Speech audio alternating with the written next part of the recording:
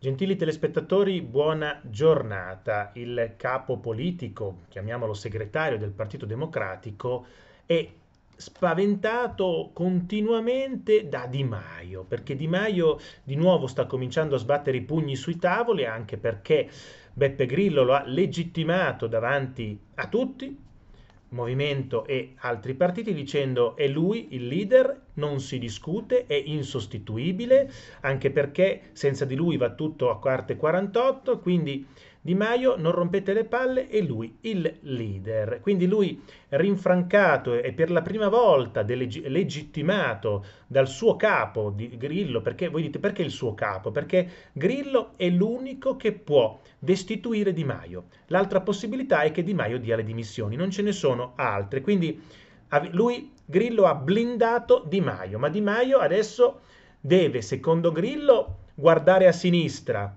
però deve guardare a sinistra e sbattere i pugni per le sue idee e le idee del partito, del movimento. Quindi è un po' difficile adesso guardare a sinistra al, al, suo unico amico, come dice Grille, guarda che il tuo unico amico è Zingaretti, è difficile guardare l'unico amico Zingaretti che parla di Jussoli, che parla di tante cose di quel tipo, e con le idee basiche del movimento. Quindi sbattere i pugni guardando l'amico unico. E però Zingaretti è abbastanza è abbastanza spaventato da questo atteggiamento. Eh, dice Di Maio vuol rompere, far saltare il governo e tornare in braccio a Salvini. L'accusa rimbalza nei piani alti del Nazareno e, e a Montecitorio, mentre si susseguono i segnali di guerriglia nella maggioranza, lo scontro sulla prescrizione, la spaccatura sul voto sulla commissione von der Leyen, gli attacchi agli esponenti grillini al PD, le candidature contrapposte nelle regioni, queste sono alcune cose, la finanziaria, eccetera, eccetera, lo Jussoli, sì, no, non c'è nel programma, adesso ce lo mettiamo, quindi... E poi soprattutto la paura trapelata in diversi giornali che, da paura che ha il PD, che Di Maio abbia segretamente un accordo con Salvini. Infatti la Meloni, attenzione, la Meloni ha detto, Salvini mi raccomando, eh, mai col PD, mai più coi 5 Stelle. E Salvini ha dato questa risposta e con questa risposta voi capite tutto, senza che io vi faccia un commento. Salvini ha risposto alla Meloni, certo, mai coi 5 Stelle quando sono col PD. Avete capito la risposta di Salvini qual è stata? Mai coi 5 Stelle quando sono col PD. Non ha detto certo Meloni mai coi 5 Stelle, mai coi 5 Stelle quando sono col PD. E questo è un messaggio a Luigi Di Maio perché se sono veramente d'accordo che quando cade il governo riparlano di fare un, nuovamente un governo insieme, anche perché c'è da dire che Salvini preferirebbe Luigi Di Maio a Giorgia Meloni perché? Lui si trova meglio con Giorgia Meloni, senza dubbio l'alleato ideale è Fratelli d'Italia. Però Fratelli d'Italia ha la fiamma del movimento sociale all'interno, loro sono gli eredi del movimento sociale di Alleanza Nazionale, quindi dei neofascisti. E Salvini dice, caspita, io che sto cercando di spostarmi il più possibile al centro, cercando di essere il più moderato possibile, facendo un'alleanza con la moderata... Eh, Meloni con un suo partito che è moderatissimo, non ha niente di, di, di, di, male, però agli occhi dell'opinione pubblica sono gli eredi di Alleanza Nazionale del Movimento Sociale Italiano Fiamma Tricolore.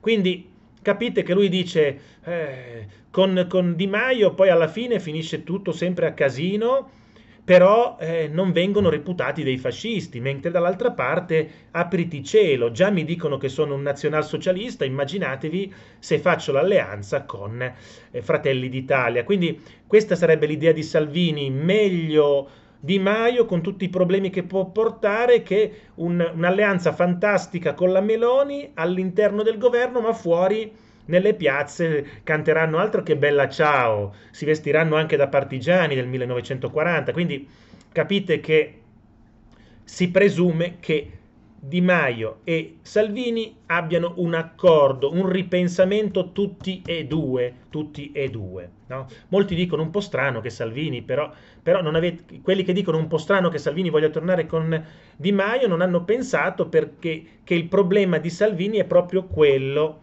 dell'alleanza che sarebbe perfetta con la Meloni, però verrebbe tacciato, già viene tacciato di essere un, un, uh, un fascista, un dittatore, immaginatevi un'alleanza con la Meloni che come secondo partito la Meloni sarebbe vicepresidente del Consiglio. Quindi capite il problema che lui potrebbe avere in Italia e in Europa con un'opposizione che griderebbe a, a, al nuovo fascismo arrivato al potere. Questo è il problema che ha Salvini e questo Zingaretti lo ha capito perfettamente. Intanto scatta anche l'allarme alla RAI nella notte tra tra martedì e mercoledì, raccontano dal Nazareno i 5 Stelle hanno fatto saltare l'accordo già chiuso sulla spartizione della nomina sul di TV di Stato. È stato Luigi Di Maio a mettere il veto sul nome di Mario Orfeo alla direzione del TG3. Dicono l'ex direttore generale di Viale Mazzini era destinato a sostituire Giuseppina Paterniti, attuale direttrice, lottizzata ai tempi del governo giallo-verde dai grillini, che si erano assicurati sia il TG1 che il TG3, mentre il TG2 era stato destinato al salviniano Gennaro San Giuliano. Cambia la maggioranza, le poltrone vanno ricalibrate e il PD aveva chiesto e apparentemente ottenuto di riprendersi il baluardo storico costituito dalla testata giornalistica di Rai 3 No? Voi sapete che Rai 3 era la, la, televisione più a sinistra di tutte le tele, televisioni di Stato. Si diceva che Rai 3 era comunista, non a caso. Eh. L'amministratore delegato Fabrizio Salini aveva condotto la lunga mediazione e tutti sembravano contenti del risultato, inclusa la Lega che può tenersi la decorativa poltrona del presidente Rai, Marcello Foe perché invece niente, Di Maio ha detto che quello di Orfeo era un nome da vecchia Rai e non lo avrebbe fatto passare. Spiegano in casa Dem, l'accordo è saltato.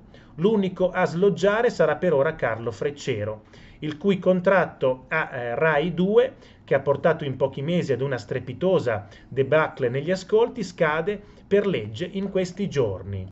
Però nel PD pensano che questo sia solo un pretesto. Allora, c'è una parte del PD che pensa che Di Maio stia cercando pretesti per far saltare tutto in maniera sottobanco senza che Grillo si, se ne accorga troppo. Mentre altri pensano che no, lui lo sta facendo solo per riaffermare la sua leadership, visto che è stato adesso legittimato per la prima volta da Grillo, vuole riaffermare che lui è il capo non solo del Movimento 5 Stelle, ma lui è il capo della coalizione di governo perché il suo movimento, il suo partito nel 2018 alle elezioni è quello che ha avuto più voti. Adesso non, lui dice non c'entrano adesso i sondaggi che mi danno al 5, 6, 7, 10%, 15%. Eh, l'importante è che noi siamo al governo con i voti del 2018 quando la, eh, il Movimento 5 Stelle era al 33%.